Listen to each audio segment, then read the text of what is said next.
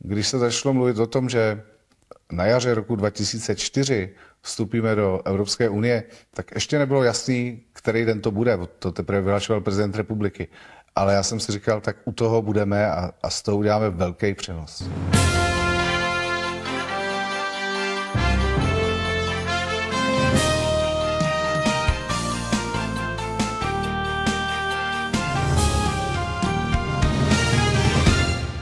Představte si, že přijedete na staroměstský náměstí, přijedete tam den před akcí v 6 hodin ráno a není tam vůbec nic. Vlastně do večera tam musí být úplně všechno.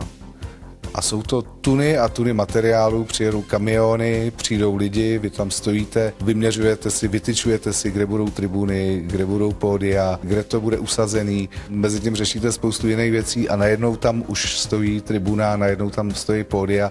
Je to prostě úžasný, jak to funguje a jak tedy pracují a jak to všichni umějí. Já je opravdu obdivuju člověk sedí doma u počítače a je sám a najednou vzniká nápad, začne se košatět, přibude autor scénáře a najednou se to nabaluje a na konci je nás 200 a všichni pracují jako včely, každý ví, co má udělat. Je tam jedna sekce, to je podiová technika, technický návrh přes všechny ty grand supporty, světla, ozvučení.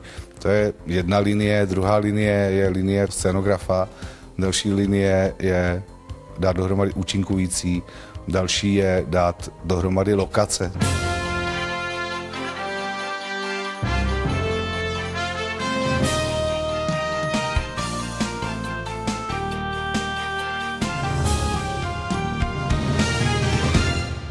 My jsme tam měli problém se na to staroměstský náměstí vůbec vejít, protože jsme tam postavili tak obrovský areál, takový jakoby amfiteátr, že jsme tam měli pak už na centimetry vyměřený třeba, kam se vedou přenosové vozy české televize i českého rozhlasu. Bylo tam obrovský prostranství, které se nějakým způsobem muselo posílat. Chtěli jsme prodat Prahu, věděli jsme, že ten přenos přebírá celá Evropa a chtěli jsme se trošku ukázat, takže jsme ty kamery dali na různé jeřáby, na různé věže okolo staroměstského náměstí. A myslím si, že tyhle ty věci se docela podařily a že celý to staroměstské náměstí, čím víc se smívalo, tak, tak tím víc lezlo v těch kamerách v plný, v plný kráse. Obvykle se totiž eh, přenosy na staroměstské náměstí dělají tak, že to pódium je před chrámem svatého Týna my jsme to otočili, my jsme to otočili o 180 stupňů a to pódium bylo před radnicí. A tím se nám odkryla ohromná scenérie, kterou ovšem bylo zapotřebí, čím víc se smívalo, tak tím víc tam hrálo dominantní roli světlo a to světlo vlastně bylo velmi scénotvorný. A to byla právě práce toho Honzy Matyáška a toho jeho týmu.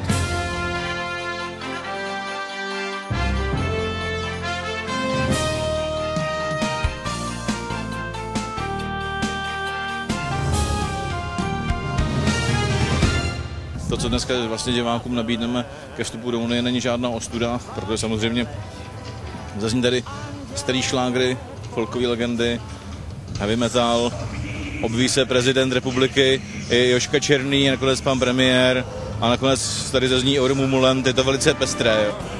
A já po své pravé ruce mám posledního dnešního hosta v živých vstupech a tím je eh, producent, autor, eh, spoluautor myšlenky, eh, režisér dnešního přenosu Petr Soukup. Tak Petře, o co dneska večer půjde a pozvi diváky, aby přišli sem na Staroměstské náměstí?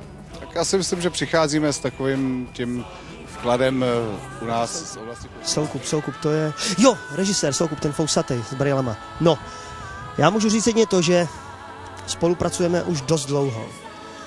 Vždycky jsme dělali na něčem, co bylo téměř předem odepsaný k neúspěchu. A naším společným úsilím se to podařilo udělat jako úspěšné. Takže kdykoliv o půlnoci, v poledne, ve dvě ráno, ve tři ráno, v pět, v sedm odpoledne zavolá režisér Petr Soukup. Vstávám a běžím, protože vím, že to bude dobrý, skvělý, sledovaný a že se na něj můžu vždycky spolehnout. Za pět sekund. Tak bacha, uznělky. Hlavně za začátku mi ty záběry kusy držte v klidu, jo. Jeď!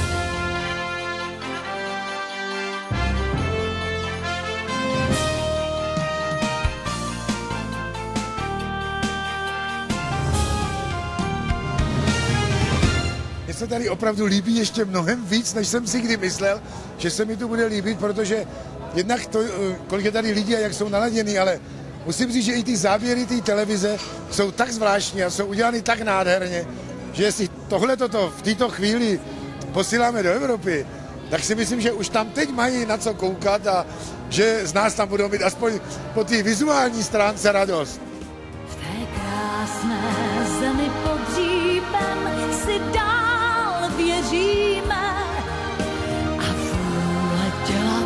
Zázraky i v tvých očích je. Petr Soukup, který je prostě obrovský profik a patří těm mým nejbližším. Tak Petře, takhle dál.